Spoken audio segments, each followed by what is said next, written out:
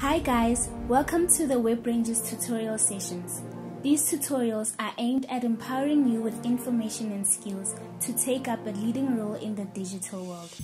Today, we're focusing on understanding websites and web pages. Let's get started.